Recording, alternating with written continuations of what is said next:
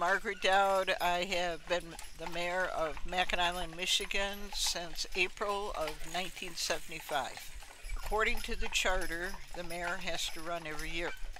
So I have run 46 times. Mackinac is very unique, and you step back in time when you come to the island.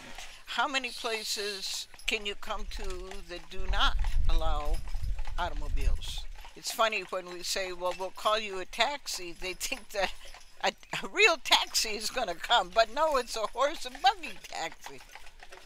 There are many things to do on the island walking, hiking, biking. We have the Chicago to Mackinac yacht race. We have the bridge walk on Labor Day. Go to the fort and get a history lesson, seeing the sunsets and the sunrises.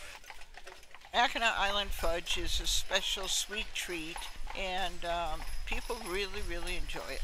And it goes all over the world.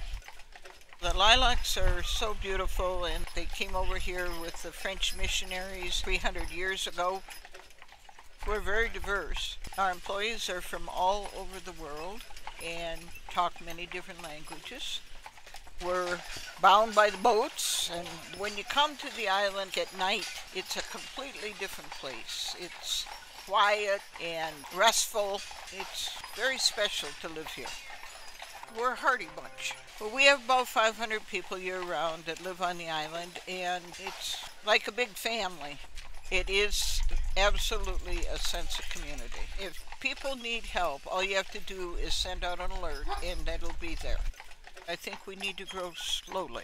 We cannot lose the magical charm that we have for this island and historic and unique vision. This is very, very important to the next generation.